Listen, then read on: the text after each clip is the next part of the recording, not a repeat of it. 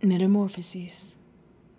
By Ovid, Book the First, The Creation of the World.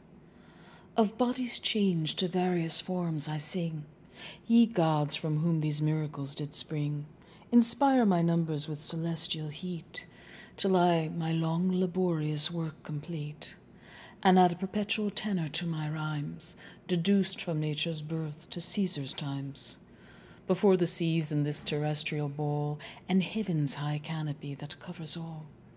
One was the face of nature, if a face, rather a rude and indigested mass, a lifeless lump unfashioned and unframed, of jarring seeds and justly chaos named. No sun was lighted up, the world to view. No moon did yet her blunted horns renew nor was earth suspended in the sky, nor poised it on her own foundations lie, nor seas about the shores their arms had thrown, but earth and air and water were in one. Thus air was void of light, and earth unstable, and water's dark abyss unnavigable. No certain form on any was impressed. All were confused, and each disturbed the rest, for hot and cold were in one body fixed and soft with hard and light with heavy mixed. But God or nature, while they thus contend, to these intestine discords put an end. Then earth from air and seas from earth were driven, and grosser air sunk from ethereal heaven.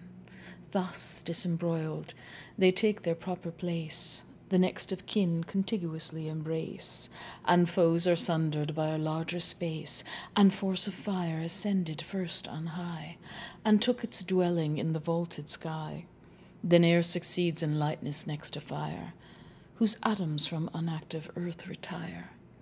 Earth sinks beneath and draws a numerous throng of ponderous, thick, unwieldy seeds along about her coast unruly waters roar, and rising on a ridge insult the shore. Thus, when the god, whatever god was he, had formed the whole and made the parts agree, that no unequal portions might be found, he moulded earth into a spacious round. Then with a breath he gave the winds to blow, and bade the congregated waters flow. He adds the running springs and standing lakes and bounding banks for winding rivers make. Some part in earth are swallowed up. The most in ample oceans disembogued are lost. He shades the woods, the valleys he restrains with rocky mountains, and extends the plains. And as five zones the ethereal regions bind, five correspond are to earth assigned the sun with rays directly darting down, fires all beneath and fries the middle zone. The two beneath the distant poles complain of endless winter and perpetual rain. Betwixt the extremes, two happier climates hold the temper that partakes of hot and cold. The fields of liquid air, enclosing all, surround the compass of this earthly ball. The lighter parts lie next to the fires above, the grosser near the watery surface move. Thick clouds are spread, and storms engender there, and thunder's voice with wretched mortals fear, and winds that on their wings cold winter bear. Nor were those blustering brethren left at large, on seas and shores their fury to discharge. Bound as they are and circumscribed in place, they rend the world resistless until they pass, and mighty marks of mischief leave behind, such is the rage of their tempestuous kind. First, Eurus to the rising morn is sent, the regions of the balmy continent, and eastern realms where early Persians run, to greet the blessed appearance of the sun. Westward, the wanton zephyr wings his flight pleased with the remnants of departing light, fierce Boreas with his offspring issues forth to invade the frozen wagon of the north, while frowning Auster seeks the southern sphere and rots with endless rain the unwholesome year. Higher o'er the clouds and empty realms of wind, the god a clearer space for heaven designed, where fields of light and liquid ether flow, purged from the ponderous dregs of earth below Scarce had the power distinguished these, when straight the stars, no longer overlaid with weight, exert their heads from underneath the mass, and upward shoot and kindle as they pass and with diffusive light adorn their heavenly place. Then every void of nature to supply with forms of gods, he fills the vacant sky. New herds of beasts he sends the plains to share, new colonies of birds to people air, and to their oozy beds the finny fish repair. A creature of a more exalted kind was wanting yet, and then was man designed, conscious of thought, of more capricious breast, for empire formed and fit to rule the rest. Whether with particles of heavenly fire, the God of nature did his soul inspire, or earth, but new divided from the sky, and pliant still retained the ethereal energy, which wise Prometheus tempered into paste, and mixed with living streams the godlike image cast. Thus, while the mute creation downward bend their sight, and to their earthly mother tend, man looks aloft, and with erected eyes beholds his own hereditary skies. From such rude principles our form began, and earth was metamorphosed into man. The Golden Age. The Golden Age was first, when man yet knew no rule but uncorrupted reason knew, and with a native bent did good pursue, unforced by punishment, unawed by fear. His words were simple and his soul sincere. Needless was written law, were none oppressed. The law of man was written in his breast. No suppliant crowds before the judge appeared, no court erected yet, nor cause was heard, but all was safe, for conscience was their guard. The mountain trees in distant prospect please, ere yet the pine descended to the seas, ere sails were spread, new oceans to explore, and happy mortals unconcerned for more, confined their wishes to their native shore. No walls were yet, nor fence, nor moat, nor mound, nor drum was heard, nor trumpet's angry sound. No swords were forged, but void of care and crime the soft creation, slept away their time. The teeming earth, yet guiltless of the plough, and unprovoked did fruitful stores allow. Content with food which nature freely bred, on wildings and on strawberry fields they fed. Cornels and bramble berries gave the rest, and folly acorns furnished out a feast. And flowers unsown in fields and meadows reigned, and western winds immortal spring maintained. In following years the bearded corn ensued from earth unasked, nor was the earth renewed. From veins of valleys milk and nectar broke, and honey sweating through the pores of oak. The Silver Age. But when good Saturn, banished from above, was driven to hell, the world was under Jove. The succeeding times a silver age behold excelling brass, but more excelled by gold. Then summer, autumn, winter did appear, and spring was but a season of the year. The sun his annual course obliquely made, good days contracted, and enlarged the bad. Then air with sultry heats began to glow. The wings of winds were clogged with ice and snow, and shivering mortals in houses driven sought shelter from the inclemency of heaven. Those houses then were caves or homely sheds with twining osiers fenced and moss their beds. Then ploughs for seed the fruitful furrows broke, and oxen laboured first beneath the yoke.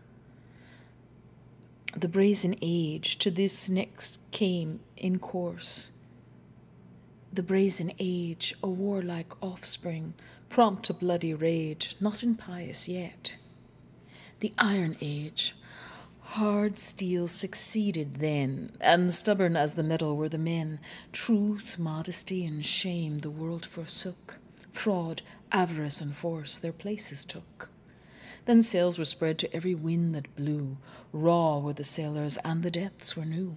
Trees rudely hollowed did the waves sustain, ere ships in triumph ploughed the watery plain. Then landmarks limited to each his right, for all those before was common as the light. Nor was the ground alone acquired to bear her annual income to the crooked share, But greedy mortals rummaging her store digged from her entrails first the precious ore, which next to hell the prudent gods has laid, and that alluring ill to sight displayed. Thus cursed steel, and more accursed gold, gave mischief birth, and made that mischief bold, and double death did wretched man invade, by steel assaulted, and by gold betrayed. Now, brandished weapons glittering in their hands, mankind is broken loose from moral bands. No rights of hospitality remain. The guest by him who harboured him is slain. The son in law pursues the father's life, the wife her husband murders, he the wife. The stepdame poison for the son prepares. The son inquires into his father's years. Faith flies, and piety in exile mourns. And justice, here oppressed, to heaven returns. The giants' wars. Nor were the gods themselves more safe above. Against beleaguered heaven the giants move. Hills piled on hills, on mountains mountain lie, to make their mad approaches to the sky, till Jove, no longer patient, took his time to avenge with thunder their audacious crime. Red lightning played along the firmament, and their demolished works to pieces rent, singed with the flames and with the bolts transfixed with native earth their blood the monsters mixed. The blood, endued with animating heat, did in the impregnant earth new sons beget. They, like the seed from which they sprung, accursed, against the gods the immortal hatred nursed. An impious, arrogant, and cruel brood, expressing their original from blood which, when the kings of God beheld from high, withal revolving in his memory what he himself had found on earth of late, Lycaon's guilt and in his inhuman treat, he sighed, no longer with his pity strove, but kindled to a wrath becoming Jove. Then called a general council of the gods, who summoned issued from their blessed abodes, and filled the assembly with a shining train. Away there is is heaven's expanded plain, which, when the skies are clear, is seen below, and mortals by the name of Milky know. The groundwork is of stars, though which the road lies open to the thunderer's abode. The god of greater nations dwell around, and on the right and left the palace bound. The commons, where they can. The nobler sort with winding doors wide open front the court. This place as far as earth with heaven may vie. I dare to say the Louvre of the sky. When all were placed in seats distinctly known, and he their father had assumed the throne, upon his ivory sceptre first he leant, then shook his head, that shook the firmament, Air, earth, and seas obeyed Almighty nod, and with a general fear confessed the God. At length, with indignation, thus he broke his awful silence, and the powers bespoke. I was not more concerned in that debate of empire when our universal state was put to hazard, and the giant race our captive skies were ready to embrace. For though the foe was fierce, the seeds of all rebellion sprung from one original. Now, wheresoever ambient waters glide, all are corrupt and all must be destroyed. Let me this holy protestation make by hell and hell's inviolable lake. I tried whatever in the Godhead lay, but gangrened members must be lopped away before the noble parts are tainted to decay. There dwells below a race of demigods, of nymphs in waters, of fauns in woods, who, though not worthy yet in heaven to live, let them at least enjoy that earth we give. Can these be brought securely lodged below, when I myself, who know superior know, I, who have heaven and earth at my command, have been tempted by Lycaon's hand? At this a murmur through the synod went, and with one voice they vote his punishment. Thus when conspiring traitors dared to loom the fall of Caesar and in him of Rome, the nations trembled with a pious fear, all anxious for their earthly thunderer. Nor was their care, O Caesar, less esteemed by thee than that of heaven, for Jove was deemed, who with his hand and voice did first restrain their murmurs, then resumed his speech again. The gods' silence were composed and sate with reverence due to his superior state. Cancel your pious cares, already he has paid his debt to justice and to me. Yet what his crimes and what my judgments were remains for me thus briefly to declare. The clamours of this vile, degenerate age, the cries of orphans, the oppressor's rage, had reached the stars. I will descend, said I, in hope to prove this loud complaint a lie. Disguised in human shape, I travelled round the world, and more than what I heard I found. O'er Menelaus I took my steepy way by caverns infamous for beasts of prey, then crossed Cyllene, and the piny shade more infamous by accursed Laocoon made. Dark night had covered heaven and earth. Before I entered his unhospitable door, just at my entrance, I displayed the sign that somewhat was approaching of divine. The prostrate people pray. The tyrant grins, and adding profanation to his sins, I'll try, said he. And if a god appear, to prove his deity shall cost him dear. 'Twas late, the graceless wretch my death prepares, when I, should soundly sleep, oppressed with cares. This dire experiment he chose to prove if I were mortal or undoubted Jove. But first he had resolved to taste my power, not long before, but in a luckless hour. Some legates, sent from Molossian state, were on a peaceful errand come to treat. Of these he murders one, he boils the flesh, and lays the mangled morsels in a dish. Some part he roasts, then serves it up so dressed, and bids me welcome to this humane feast. Moved with disdain, the table I overturned, and with avenging flames the palace burned. The tyrant in affright for shelter gains the neighboring fields and scours along the plains. Howling he fled, and fain he would have spoke, but humane voice his brutal tongue forsook. About his lips the gathered foam he churns, and breathing slaughter still with rage he burns. But on the bleeding flock his fury turns. His mantle, now his hide, with rugged hairs, cleaves to his back, a famished face he bears. His arms descend, his shoulders sink away, to multiply his legs for chase of prey. He grows a wolf, his hoariness remains, and the same rage in other members reigns. His eyes still sparkle in a narrower space. His jaws retain the grin and violence of his face.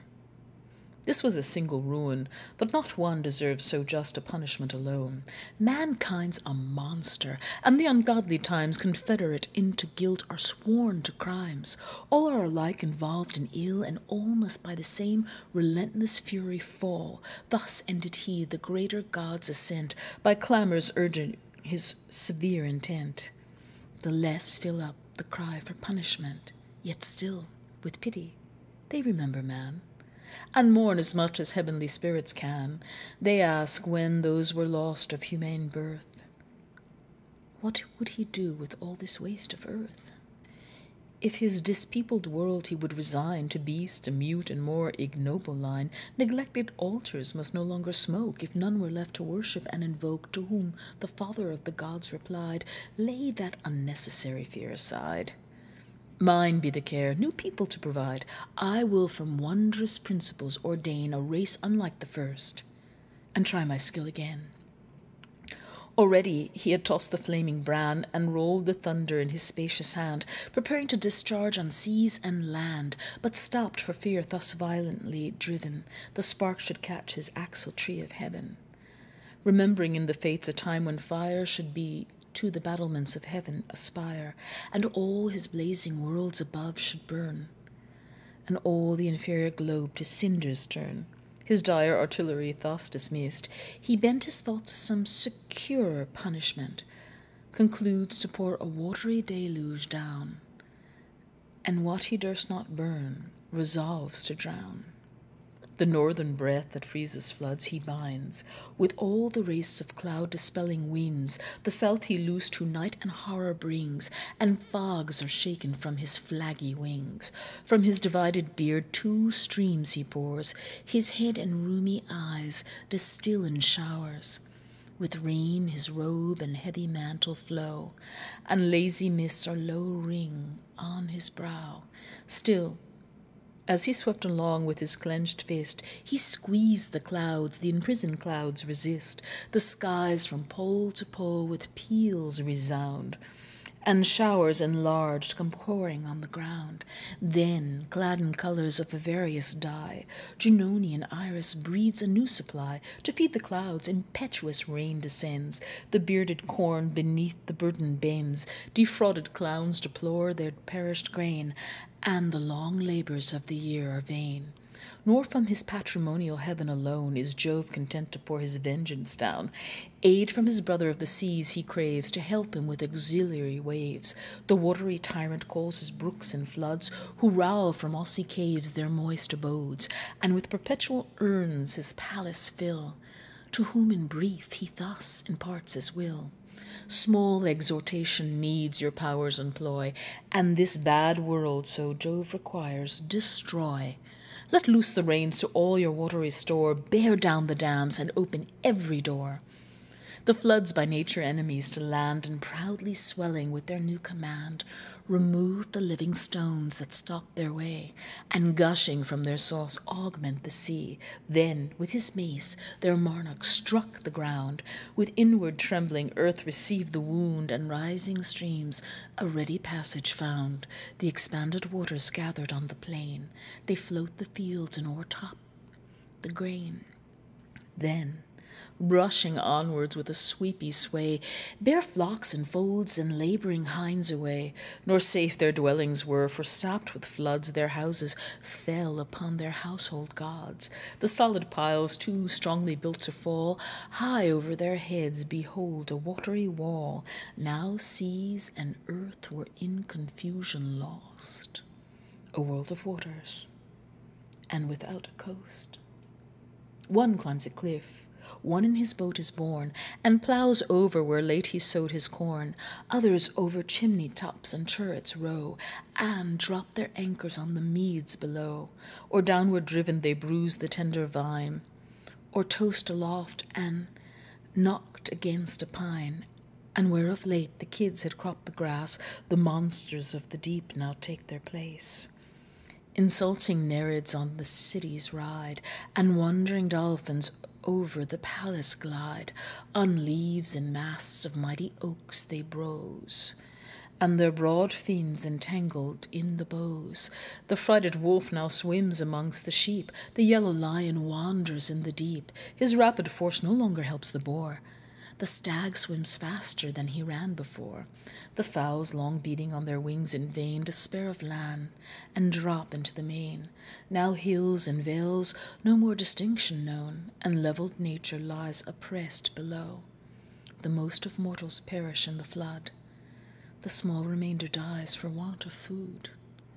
A mountain of stupendous height there stands, betwixt the Athenian and Boeotian lands the bound of fruitful fields where fields they were. But then a field of waters did appear. Parnassus is its name, whose forky rise mounts through the clouds and mates the lofty skies. High on the summit of this dubious cliff, Deucalion wafting moored his little skiff. He and his wife were only left behind of perished men. They too were humankind. The mountain nymphs and Themis they adore, and from her oracles relief implore. The most upright of mortal men was he, the most sincere and holy woman she. When Jupiter, serving earth from high, beheld it in a lake of water lie, there were so many millions lately lived, but two, the best of either sex, survived.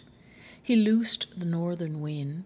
Fierce Boreas flies to puff away the clouds and purge the skies. Serenely, while he blows the vapors driven, discover heaven to earth and earth to heaven. The billows fall while Neptune lays his mace on the rough sea and smooths its furrowed face. Already Triton at his call appears above the waves. A Tyrian robe he wears, and in his hand a crooked trumpet bears. The sovereign bids him peaceful sounds inspire, and gives the waves the signal to retire.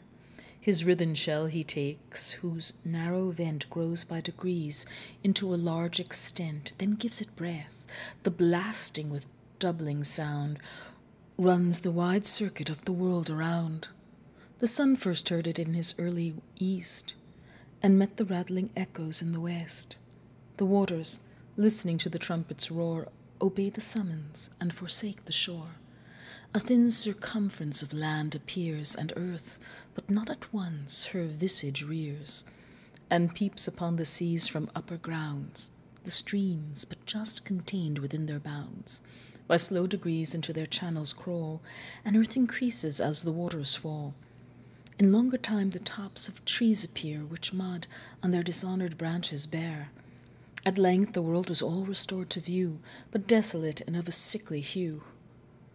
Nature beheld herself and stood aghast, a dismal desert and a silent waste, which, when Deucalion with a piteous look beheld, he wept, and thus to Pyrrha spoke, O wife, O sister, O of all kind, thy kind the best, an only creature left behind by kindred love, and now by dangers joined of multitudes who breathed the common air.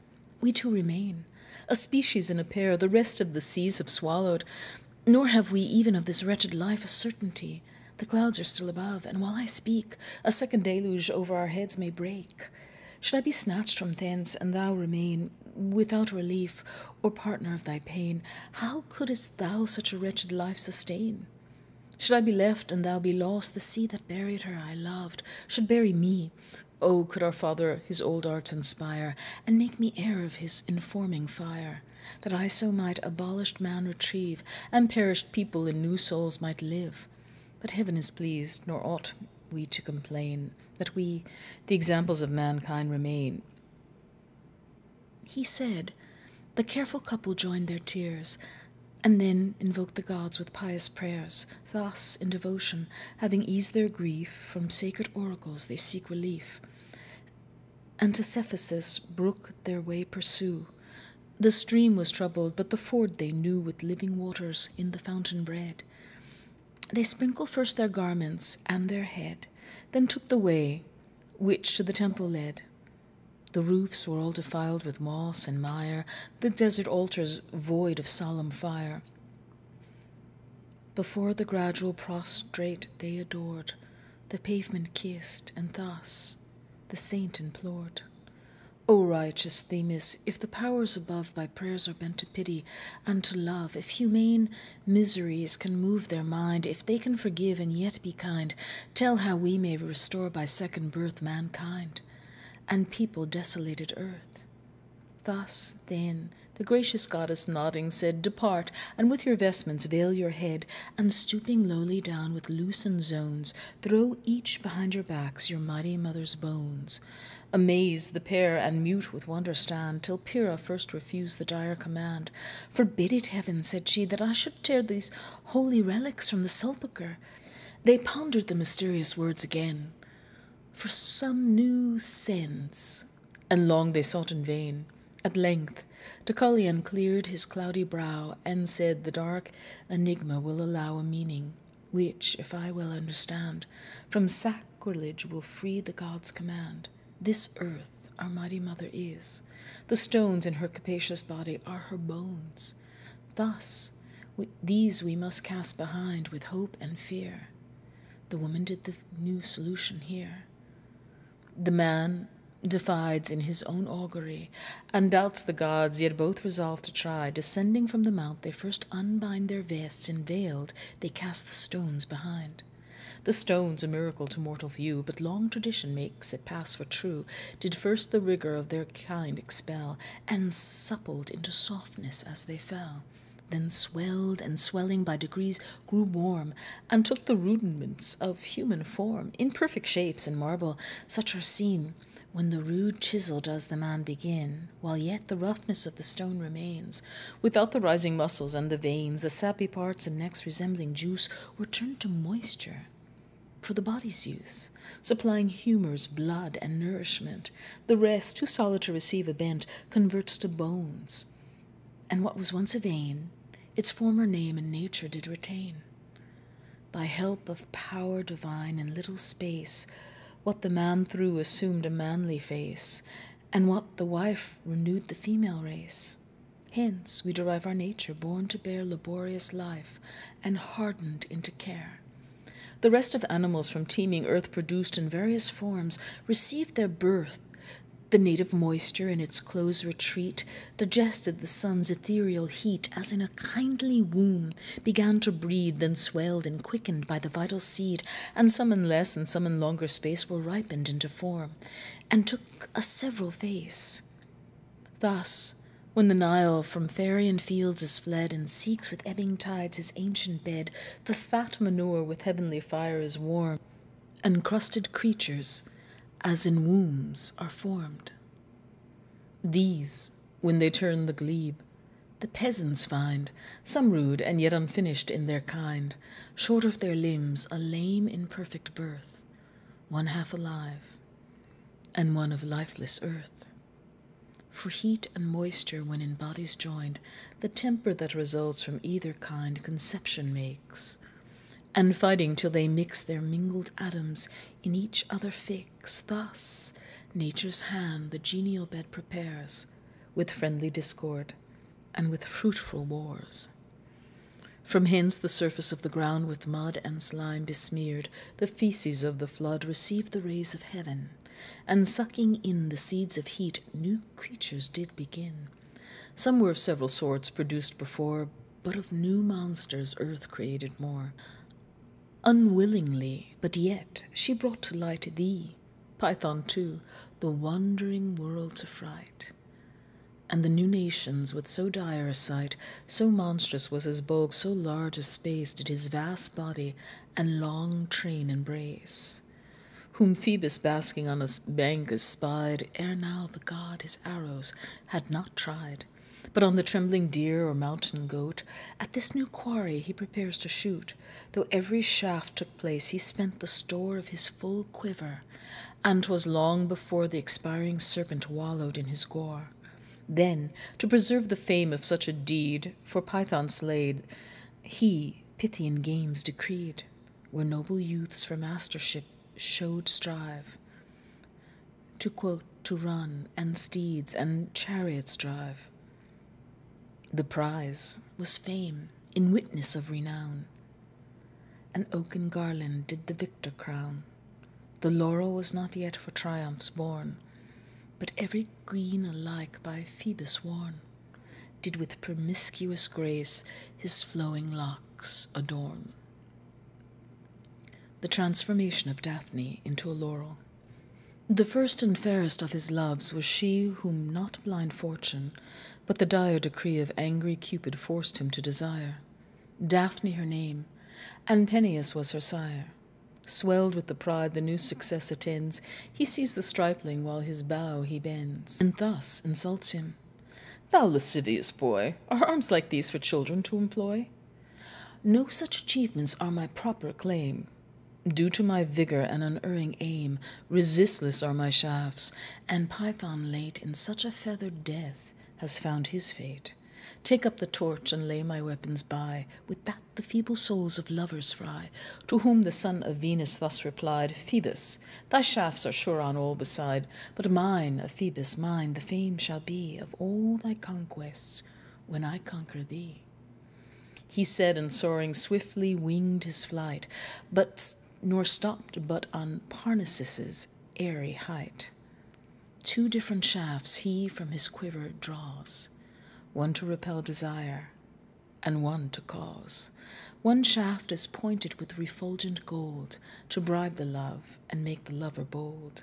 One blunt and tipped with lead, whose base allay provokes disdain and drives desire away. The blunted bolt against the nymph he dressed, but with the sharp transfixed Apollo's breast. The enamored deity pursues the chase. The scornful damsel shuns his loathed embrace. In hunting beasts of prey her youth employs, and Phoebe rivals in her rural joys. With naked neck she goes and shoulders bare, and with a fillet binds her flowing hair. By many suitors sought, she mocks their pains, and still her vowed virginity maintains. Impatient of a yoke, the name of bride she shuns, and hates the joys she never tried. On wilds and woods she fixes her desire, nor knows what youth and kindly love inspire. Her father chides her oft. Thou owest, says he, a husband to thyself, a son to me. She like a crime abhors the nuptial bed. She glows with blushes, and she hangs her head. Then, casting round his neck her tender arms, soothes him with blandishments and filial charms. Give me, my lord, she said, to live and die a spotless maid without the marriage tie. Tis but a small request, I beg no more than what Diana's father gave before. The good old sire was softened to consent, but said her wish would prove her punishment. For so much youth and so much beauty joined opposed the state which her desires designed. The god of light, aspiring to her bed, hopes what he seeks with flattering fancies fed, and is by his own oracles misled. And, as in empty fields the stubble burns, or nightly travellers, when day returns, their useless torches on dry hedges throw, that catch the flames and kindle all the row, so burns the god, consuming in desire, and feeding in his breast a fruitless fire. How well turned neck he viewed! Her neck was bare, and on her shoulders her dishevelled hair. Oh, it combed, said he, with what a grace would every waving curl become her face.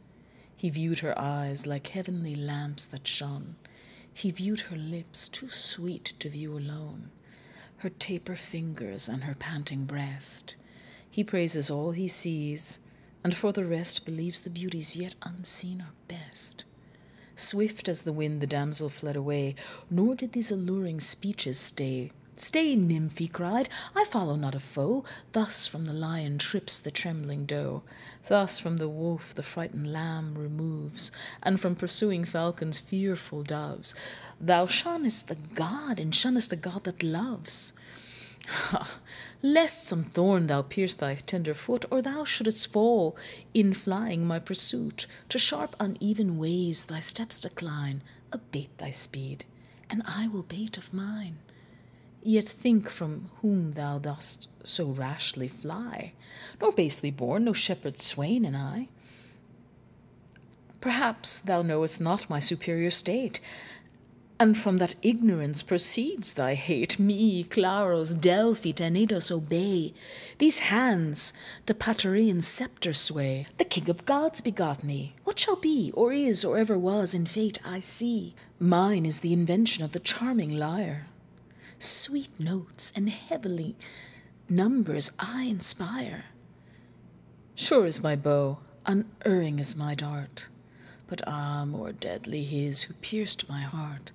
Medicine is mine. What herbs and simples grow in fields and forests, all their powers I know. And I'm the great physician called below. Alas, that field and forest can afford no remedies to heal their lovesick lord, to cure the pains of love no plant avails, and his own physic the physician fails. She heard not half, so furiously she flies, and on her ear the imperfect accent dies. Fear gave her wings, and as she fled, the wind increasing spread her flowing hair behind, and left her legs and thighs exposed to view, which made the god more eager to pursue. The god was young, and was too hotly bent to lose his time in empty compliment, but led by love and fired with such a sight, impetuously pursued his near delight and when the impatient greyhound slipped from far, bounds over the glebe to course the fearful hare, she, in her speed, does all her safety lay, and he with double speed pursues the prey, overruns her at the seating turn, and licks his chaps in vain, and blows upon the flicks. She scapes, and for the neighbouring covert strives, and gaining shelter doubts if yet she lives. If little things with great we may compare, such was the god, and such the flying fair. She urged by fear her feet did swiftly move, but he more swiftly who was urged by love. He gathers ground upon her in the chase, now breathes upon her hair with nearer pace, and just as fastening on the wished embrace, the nymph grew pale and in mortal fright, spent with the labour of so long a flight, and now despairing cast a mournful look upon the streams of her paternal brook. Oh, help, she cried, in this extremest need, if water gods are deities indeed, gape earth and with this unhappy wretch entomb, or chain my form whence all my sorrows come.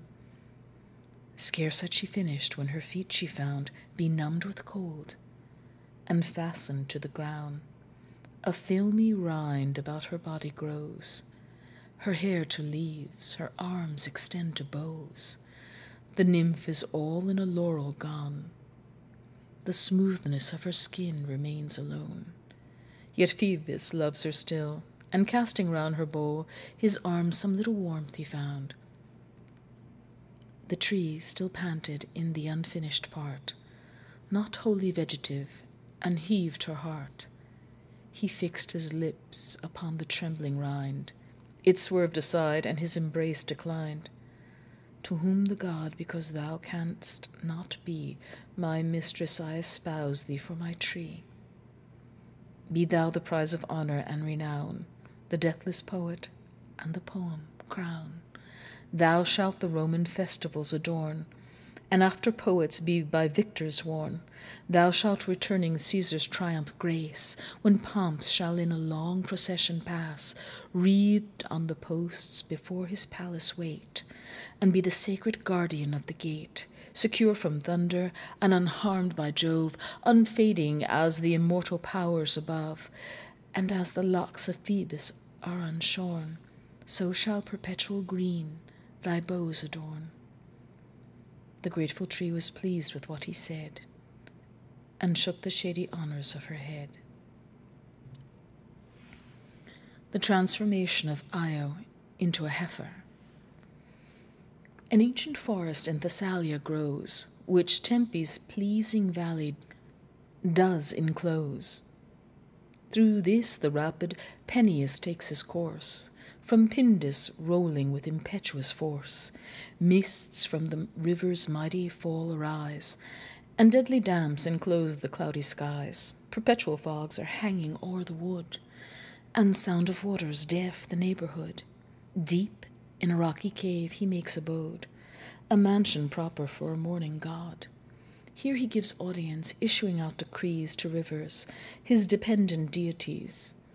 On this occasion hither they resort to pay their homage, and to make their court, all doubtful whether to congratulate his daughter's honour or lament her fate. Spercheius, crowned with poplar, first appears, then old Apidanus came crowned with years. Enipeus turbulent, Amphrysos tame, and Aeas last with lagging waters came. Then of his kindred brooks a numerous throng condole his loss and bring their urns along. Not one was wanting of the watery train that filled his flood or mingled with the main. But Inachus, who in his cave alone wept not another losses, but his own, for his dear Io, whether strayed or dead, to him uncertain, doubtful tears he shed. He sought her through the world, but sought in vain, and nowhere finding her, rather feared her slain. Her just returning from her father's brook, Jove had beheld with a desiring look. And O fair daughter of the flood, he said, worthy alone of Jove's imperial bed, happy whoever shall those charms possess, the king of gods, nor is thy lover less, invites thee to yon cooler shades, to shun the scorching rays of the meridian sun. Nor shalt thou tempt the dangers of the grove, alone without a guide. Thy guide is Jove. No puny power, but he whose high command is unconfined, who rules the seas and land, and tempers thunder in his awful hand. Oh, fly not, for she fled from his embrace over Lerna's pastures. He pursued the chase along the shades of the Lycaean plain.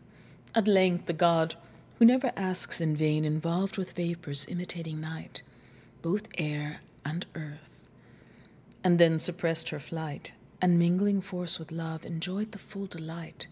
Meantime, the jealous Juno from on high surveyed the fruitful fields of Arcady, and wondered that the mist should overrun the face of daylight and obscure the sun. No natural cause she found from brooks or bogs or marshy lowlands to produce the fogs.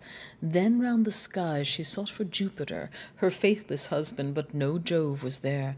Suspecting now the worst, or I, she said, am much mistaken, or am much betrayed. With fury she precipitates her flight, dispels the shadows of dissembled night, and to the day restores his native light. The almighty lecher, careful to prevent the consequence, foreseeing her descent, transforms his mistress in a trice, and now in Io's place appears a lovely cow.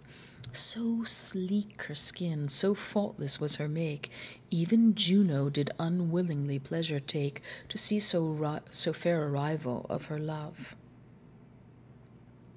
And what she was, and whence, inquired of Jove.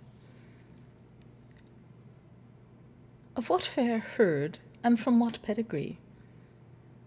The god, half caught, was forced upon a lie, and said she sprung from earth. She took the word, and begged the beauteous heifer of her lord. What should he do? 'Twas equal shame to Jove, or to relinquish to, or betray his love. Yet to refuse so slight a gift would be more to increase his consort's jealousy.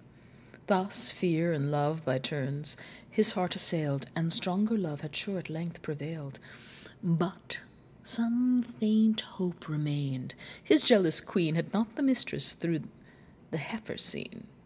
The cautious goddess of her gift possessed, yet harbored anxious thoughts within her breast, as she who knew the falsehood of her Jove, and justly feared some new relapse of love, which to prevent and to secure her care, to trust Argus she commits the fair.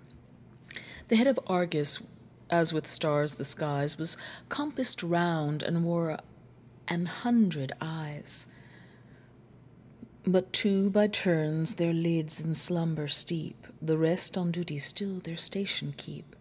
Nor could the total constellation sleep, thus ever present to his eyes and mind. His charge was still before him, though behind. In fields he suffered her to feed by day, but when the setting sun to night gave way, the captive cow he summoned with a call, and drove her back and tied her to the stall. On leaves of trees and bitter herbs she fed, heaven was her canopy, bare earth her bed. So hardly lodged, and to digest her food she drank from troubled streams, defiled with mud. Her woeful story fain she would have told with hands upheld, but had no hands to hold.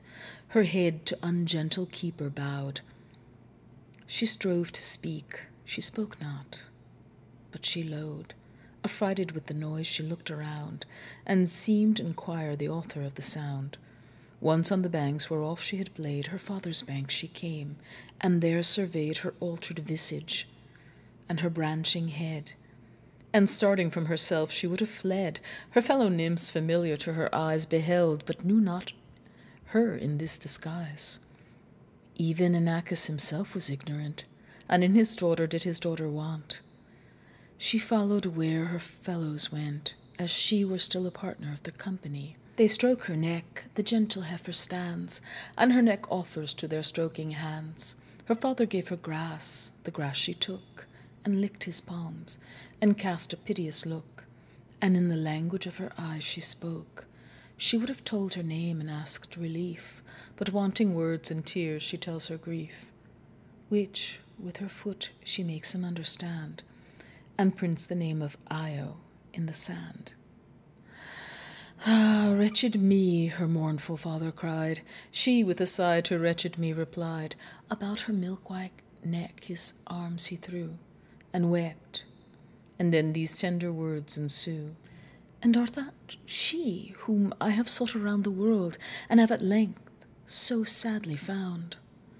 So found is worse than lost, with mutual words thou answerest not, no voice thy tongue affords, but sighs are deeply drawn from out thy breast, and speech denied by lowing is expressed.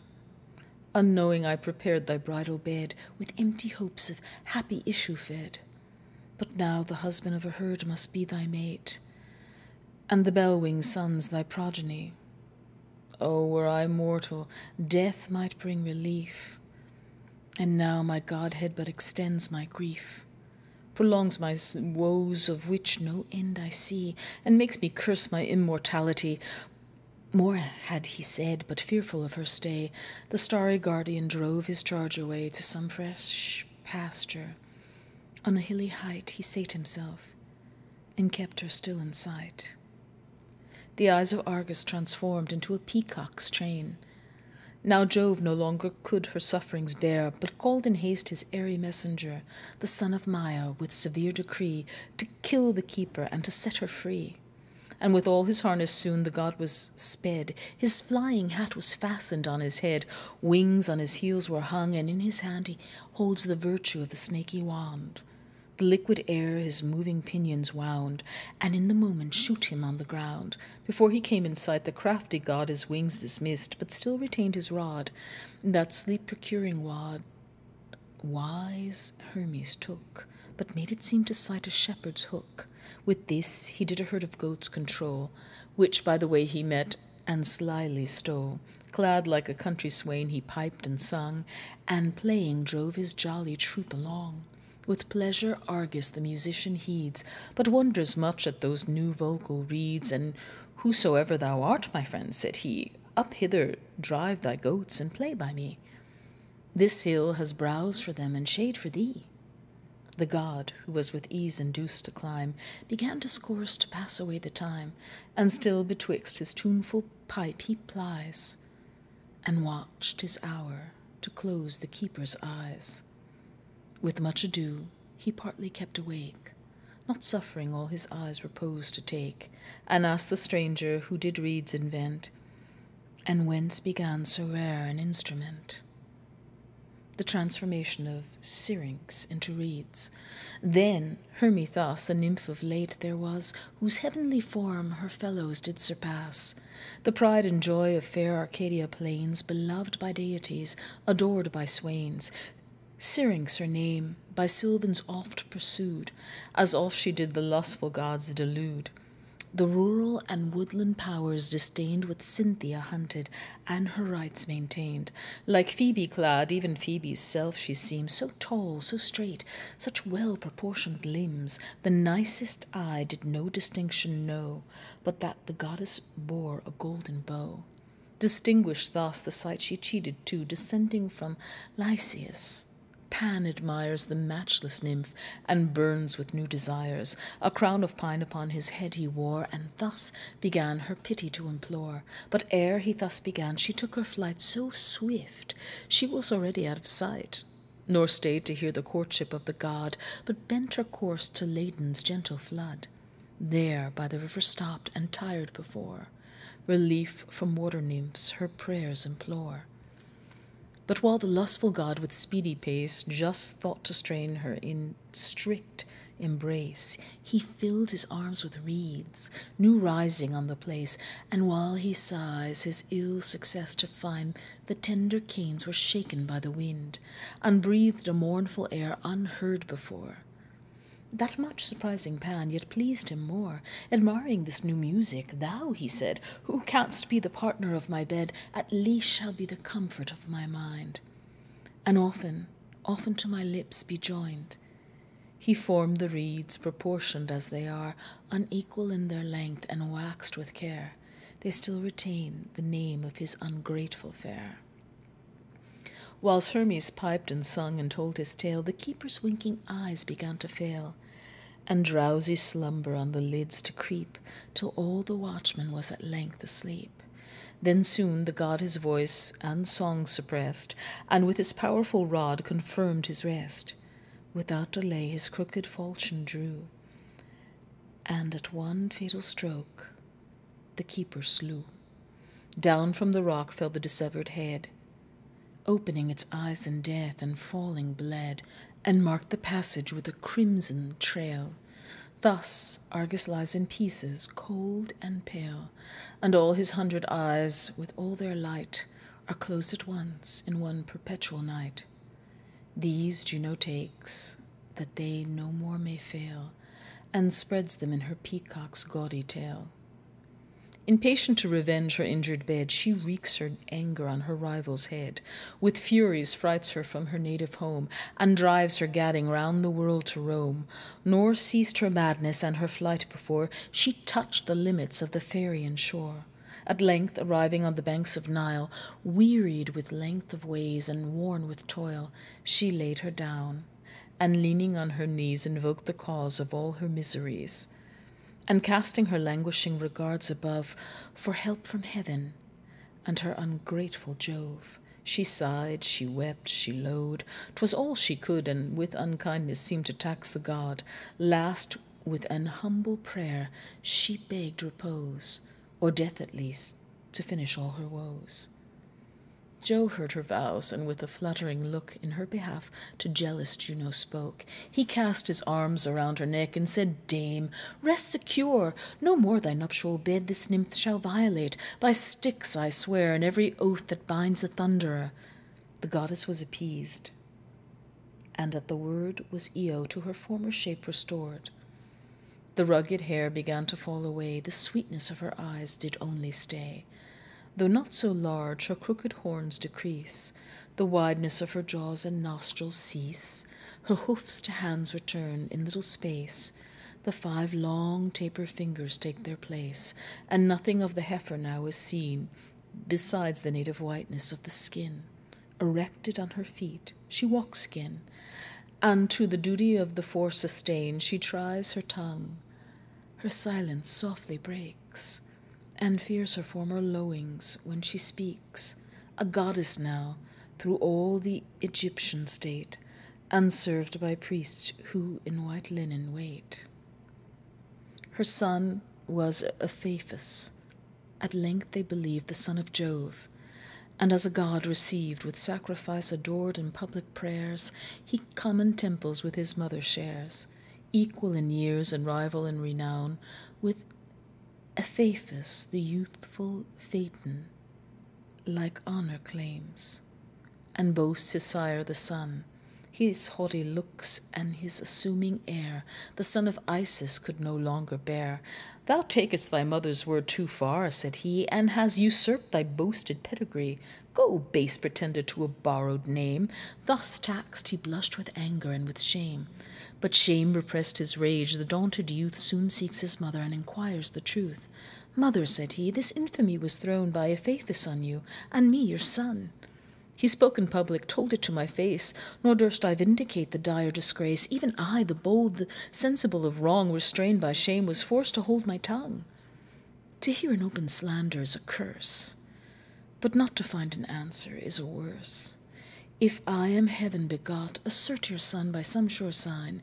Make my father known, to right my honor, and redeem your own. He said, and saying, cast his arms about her neck, and begged her to resolve the doubt.